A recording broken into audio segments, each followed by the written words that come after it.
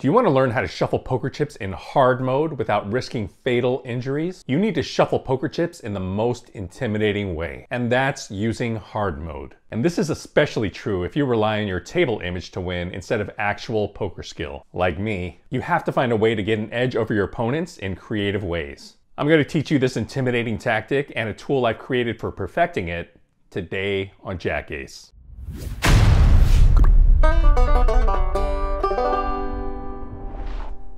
What up, donkeys? JackAce here with jackace.com, where I talk about my three favorite topics gambling, crypto, and STEM.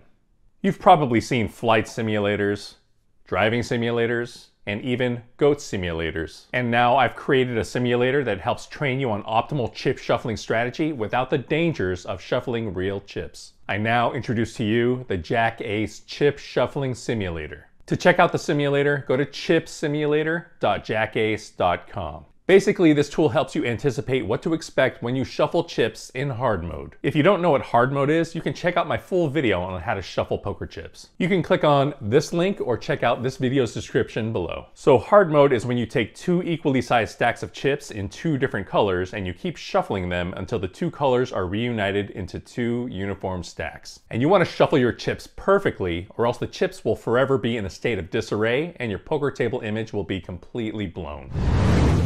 So what does a perfect shuffle look like? So let me demo a perfect shuffle with two stacks of four chips each, four red and four black. When you shuffle them perfectly, the two uniform stacks appear to be reunited with their brethren every three shuffles. So let's check this out in the simulator.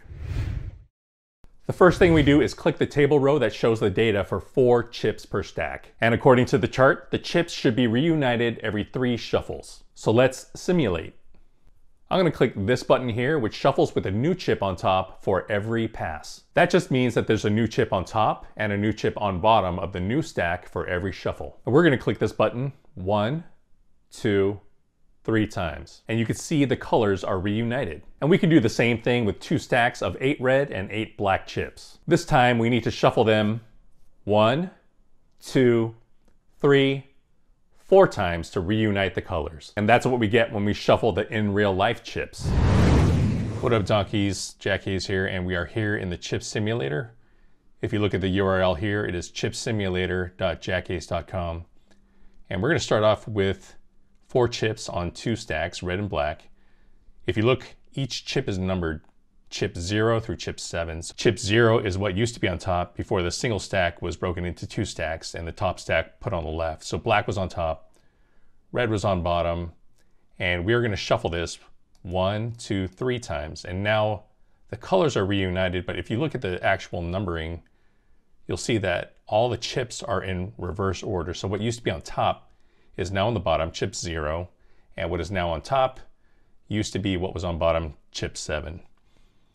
And you can see that the two colors are reunited, but they are not in the original order. And if I shuffle them three more times, one, two, three, now you can see they are back in the original order. And we can do this as well with eight chips per stack. But now instead of it taking three shuffles to get them back into unified colors, it's gonna take us one, two, three, four times. And again, with the situation with four chips per stack, the chips are unified, but they're in reverse order. So now what is on the bottom used to be what was on top. What is on the top used to be what was on the bottom. And again, we can do it four more times. One, two, three, four.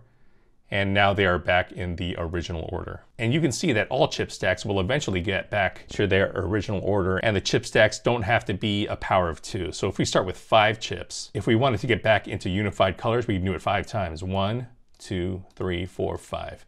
But again, these chips are reversed. So now we have to do it another five times. One, two, three, four, five for a total of 10 shuffles to get it back into the original order.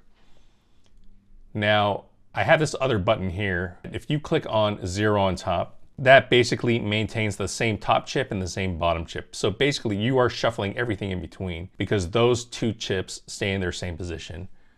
So I'm gonna click this six times. One, two, three, four, five, six. And as you can see here, when I keep the same chip on top, it takes us six shuffles to get back into the original order. And you will probably notice that this number is the same as this number because essentially we've just eliminated the top and bottom chip and we did a perfect shuffle with a new chip on top. So you'll see that this number here, 3, matches this number here, 3. This number here, 6, matches this number here, 6.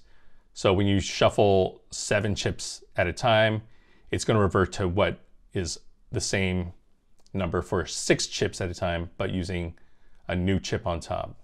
And you can notice that there's a special condition with everything that's a power of two. So if you look at four chips per stack or eight chips total, it takes us three shuffles to get to reunited colors. And you might notice that eight is two to the third power. And if you look at 16 chips or eight chips per stack, 16 is two to the fourth power. If you look at 32 chips or 16 chips per stack, 32 is two to the fifth power and it takes us one, two, three, four, five shuffles to get back to reunited colors. And the same thing if we go to 64 chips, 32 chips per stack.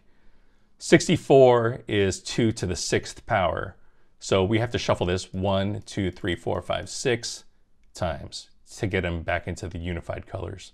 If we want to get them back into the original order, we have to do it another six times. One, two, three, four, five, six. And you might also notice that if we have 26 chips per stack or 52 chips, basically this is a deck of cards, 52 cards per deck.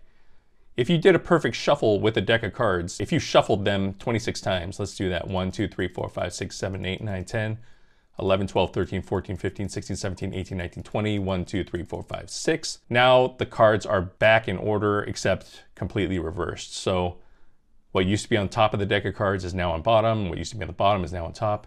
And we can do it another 26 times. 1, 2, 3, 4, 5, 6, 7, 8, 9, 10. 11, 12, 13, 14, 15, 16, 17, 18, 19, 20, 21, 22, 23, 24, 25, 26.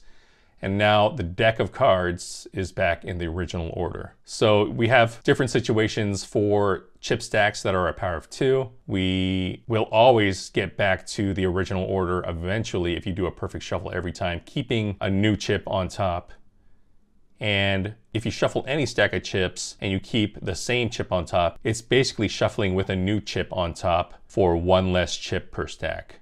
So that's what I learned. That's what I discovered by writing this chip simulator. And I have yet to figure out the pattern of these values. So it's a very strange numerical pattern 2, 4, 3, 6, 10, 12, 4, 8, 18, 6, 11, 20. I have not found a consistent way of calculating what this number is going to be, except for the cases where we're talking about a power of two. So if anyone out there wants to figure that out, I would love to hear how to calculate this number. So I hope this simulator helps you out and helps you develop your table image. If you enjoyed this video, remember to smash the like button and subscribe. Always gamble responsibly and peace out, donkeys.